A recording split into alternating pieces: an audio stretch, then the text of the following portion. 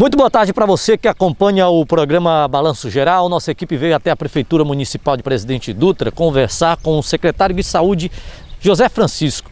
Ele que fez um balanço das ações da secretaria durante o ano de 2020, um ano atípico, principalmente para a área da saúde, devido à pandemia da Covid-19. Não foi um desafio só para a saúde de Presidente Dutra, foi um desafio para a saúde do mundo, né? A gente passou pelo que muitos chamam da pior pandemia dos últimos 100 anos, né?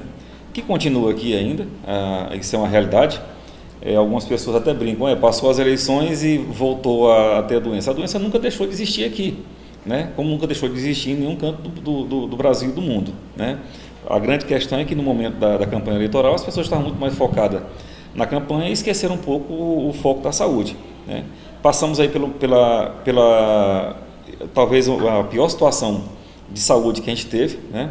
Infelizmente, é, até a data de hoje, nós temos 35 óbitos causados pela Covid dentro, dentro do nosso município, que ainda é relativamente baixo em relação ao resto do estado do Maranhão levando-se em em conta a nossa população e a quantidade de pessoas que circulam por aqui diariamente. Além de falar do ano de 2020, o secretário também falou a respeito do processo de transição da administração pública. Segundo ele, a equipe de transição já o procurou, inclusive também o promotor de justiça aqui de Presidente Dutra também procurou ele e esse processo está sendo feito de forma com que a próxima administração tenha conhecimento de todos os processos envolvendo a Secretaria de Saúde saúde. Está aqui esperando, inclusive, para hoje uma reunião com a equipe de transição. Né? O nosso objetivo é entregar a saúde é, com todos os postos e com, todo, com o hospital em condições de funcionamento. Em relação ao centro de triagem, é, o contrato que tinha do Covid, ele encerra agora no mês de dezembro, então a gente vai usar até o limite do prazo e entrar de recesso, e o centro de triagem fica a critério da próxima gestão é, criar uma lei ou, ou, algum, algum aditivo para poder reativar ou não. Isso é critério já da próxima gestão. Né? A mesma situação se aplica também à ala do Covid lá do hospital. Né? A gente fez um contrato emergencial de três meses, passivo de renovação por até mais três meses. Esse prazo está se encerrando. Hoje nós temos dentro do hospital, é, doutor Eli somente quatro pacientes internados, pouco em relação à capacidade que tem. É um critério também que fica para a próxima gestão é, de manter a ala, de reativar a ala ou não.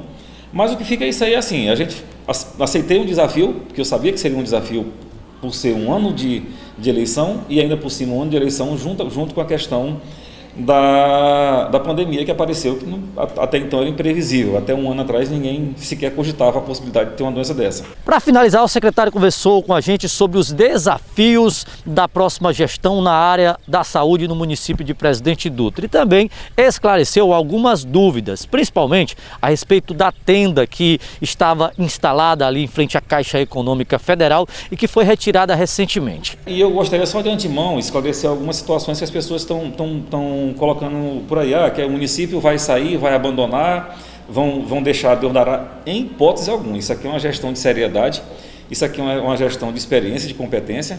É, eu estou até chamando a atenção dos nossos coordenadores para que repassem aos, aos, funcionários que dia 10 agora, provavelmente sai o pagamento referente ao mês de novembro, todas as campanhas pendentes e todos os, os, os é, Lira, PEMAC que tem pendente, ah, o financeiro já pediu para poder fazer o levantamento, para poder pagar, e a gente já está fazendo a, pro, a, projeção da folha para que dia 30, tendo dinheiro em caixa, o salário do mês de dezembro seja pago também. Então a gente vai entregar, ao contrário de muitas gestões, a gente vai entregar o município com, a, com, com, com os pagamentos sanados, certo? E a gente está aqui à disposição, como ontem eu recebi a, a, a visita do promotor doutor Clodoaldo e passei para ele que a gente está aqui para entregar e vai entregar com seriedade até dia 31 de dezembro. De 31 de dezembro para frente, aí já é a nova gestão é um, um, um, outro tempo e fica a critério da população de julgar se isso foi bem ou não avaliado. A gente tinha um contrato, certo? Esse contrato venceu no final de outubro, né? a empresa nos comunicou que já vinha buscar essa, é, aquela tenda, né? que ela foi útil durante muito tempo, e ela acabou postergando a, a, a, vinda até, parece que dia 16, dia 17 de, de, de novembro. Né? Ela segurou até alguns dias mais. Mas não foi por falta de pagamento, é porque o contrato venceu e automaticamente, quando o contrato venceu, eles vieram buscar. cabe à próxima gestão fazer um novo contrato que seja com a mesma empresa ou com outra empresa e que, caso queira colocar, colocar ou não. Bom, Paulo, essas foram as informações aqui diretamente da Prefeitura Municipal de Presidente Dutra. A gente segue com você aí direto dos estúdios.